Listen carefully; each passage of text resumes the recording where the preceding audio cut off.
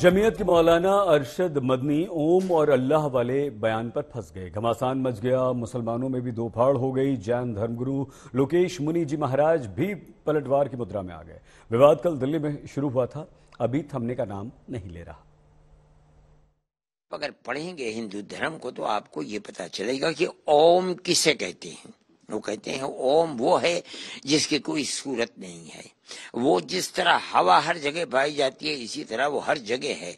वही देता है, वही लेता है, उसी ने धरती बनाई है, उसे हम उसी को अल्लाह कहते हैं। इसलिए अल्लाह की भी जात वही है कि उसका न कोई रंग है, न उसका कोई रूप है, न उसका शरीर है।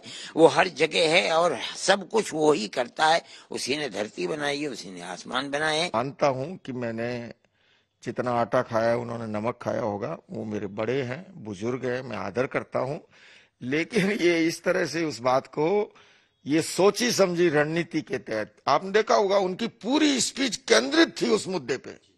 वो टू द पॉइंट उस पर आगे बढ़ रहे थे, और उन्होंने उस बात पे बल दिया, मैं कह रहा हूँ, मैं इन गुरुओं की मौजूदगी में कह रहा हूँ। और ये इन्होंने कहा, ये तो हमारे कंधे पे बंदूक रख करके चलाने वाली बात हो गई।